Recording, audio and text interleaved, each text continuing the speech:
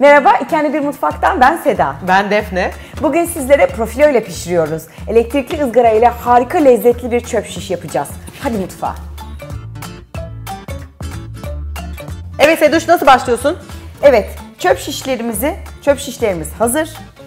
Onları suda beklettik. Böylece yanmamaları için önemli en az bir saat suda bekletin. Ondan sonra marine edilmiş kuzularımız da hazır. Kuzu kuşbaşılarımız, soğan ve dolmalık biberler var renkli. Ben başlıyorum Defne. Süper. Ee, Seda şişe geçirirken ben size kısaca nasıl marine ettiğimizi anlatayım. Ee, sosun içinde malzemeler ve yapılışı zaten aşağıda yazıyor. Ama yoğurdu, e, kekiği, e, başka ne koyduk? Zeytinyağı, e, soğan suyunu hepsini karıştırdık. Bir sos haline getirdik. Ondan sonra da onları etimizin üzerine döktük. İyice etler onlara e, karıştırdık birbirine. Ve buzdolabında beklemeye bıraktık. Bu marine sosu en fazla 12 saat mi üzerine bırakıyoruz. Daha fazla değil ama bizimki zaten o kadar uzun da sürmedi. Ondan sonra buzdolabından tekrar çıkarttık ve oda sıcaklığına gelmesini bekledik. Şimdi Seda'nın dizdiği şekli de e, sebzelerle beraber şiş haline getiriyoruz.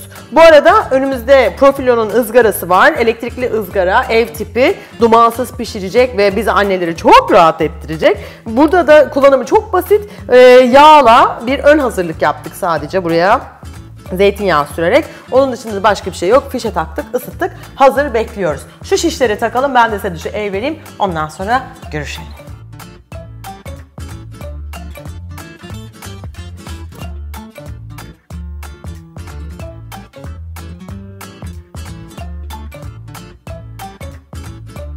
Ta ta ta ta işte her kebapçıyı kıskandırtacak.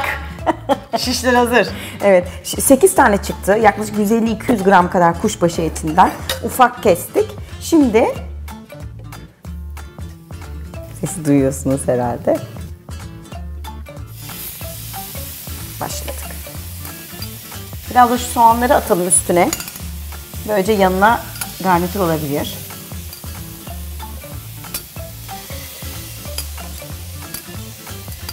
Evet, onlar pişe dursunlar. Güzel güzel çevireceğiz maşayla. Ondan sonra da afiyetle yiyeceğiz Lüp lüp. sanırım. Lüp lüp lüp yiyeceğiz.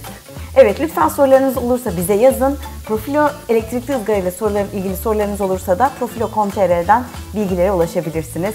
Şimdiden afiyet bal olsun. Afiyet olsun. Hoşçakalın.